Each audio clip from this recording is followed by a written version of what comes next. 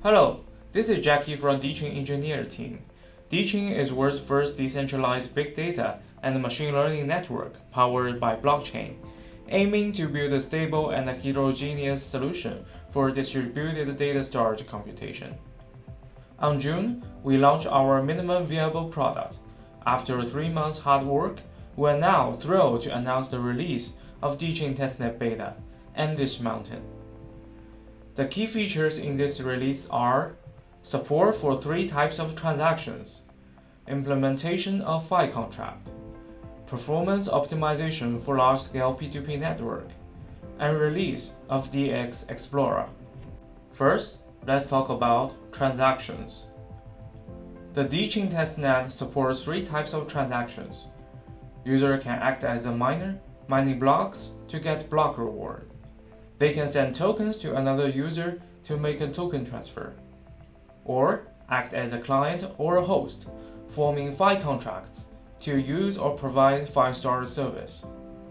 Block rewards, token transfer, and file contracts are encoded into a block and be added to DxChain.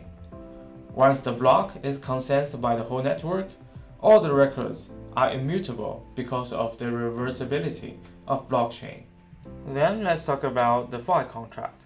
file contract is a key breakthrough of the testnet. When a client decides to upload a file, they will start with looking for multiple hosts. The file to be uploaded will be encrypted and spreaded across these hosts with a certain level of redundancy. The client will sign contracts with hosts, one contract for each. Let's take a closer look at how these contracts work. To form a contract, both the client and the host will deposit some token into the fund of the file contract. When the client uploads or downloads any file to the host, the fund distribution will be recalculated. After the file contract is executed successfully, the fund in the contract will be dispersed accordingly. Storage proof algorithm is implemented to ensure the data security. Host will broadcast the storage proof to the whole network periodically, and every node on chain is able to verify the proof without any knowledge about the raw data. After consent by the whole network, the storage proof will be added to DxChain. The proof is highly efficient, both in time and space. If one of the hosts is down, the raw data could still be recovered and downloaded by the client using the erasure code. At the same time, the file contract will automatically find another available host to store the data.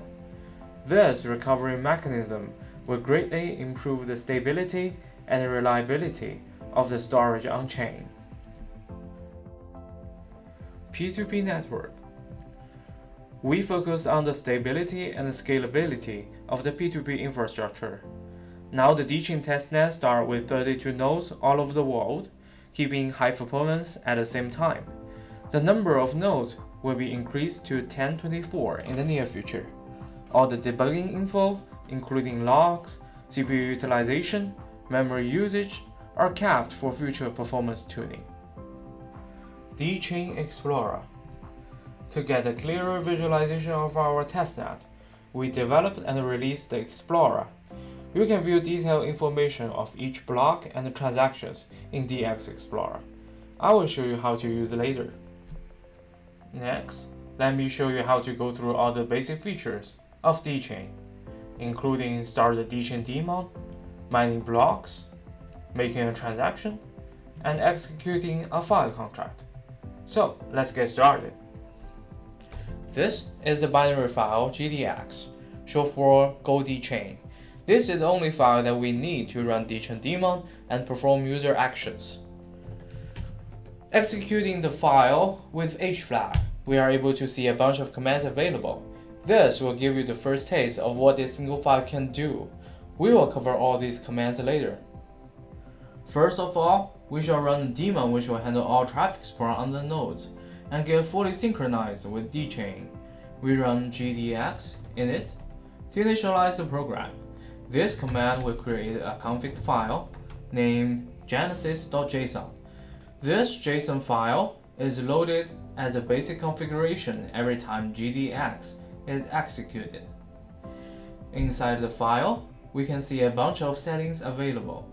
This file is generated automatically, so no any other modifications is needed. After initialization, the next step is to type GDX. Now the daemon has started correctly. We can run another command to see how well our machine is connected to DxChain. So open another terminal, typing GDX p2p list. This will give you a list of peers that our machine is currently connected to. Run this command again. We can see that the number of peers is growing and GDX status. It will show you the latest synchronization status. You can see it's not fully synchronized right now, so let's wait for a few seconds to see. Now our machine has been fully synced with the chain with height 4663. The height is still growing at a rate of 1 minute per block.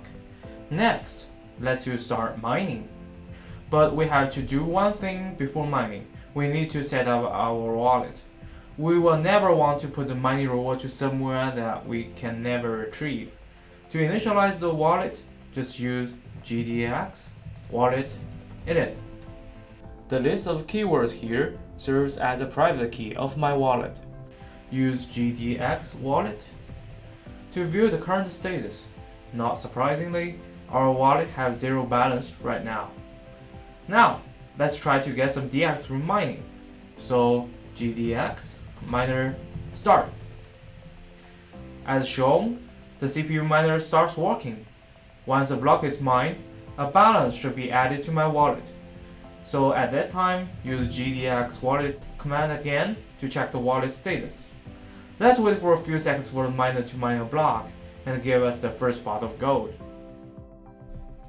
Fortunately, we didn't wait much time before we mined the block.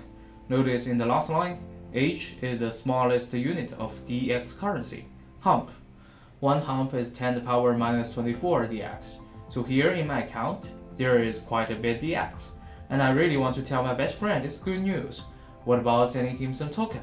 So I type in GDX, send, say I will send him 10,000 tokens, and this is his address. Check the wallet right now, we are able to see the 10,000 DX is on the fly. After few seconds delay, the 10,000 DX has been sent to my friend, and we notice that there are some extra tokens spent. These small amounts of tokens are used for miner fees, which are automatically calculated and spent for this transaction. Lastly, I want to try uploading and downloading files through file contract.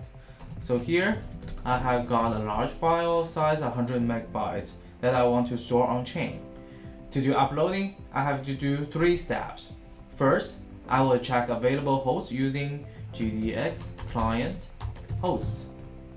There are plenty of them online available. Second step, form the file contract.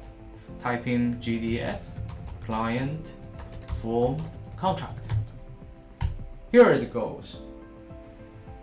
And use GDX client contracts.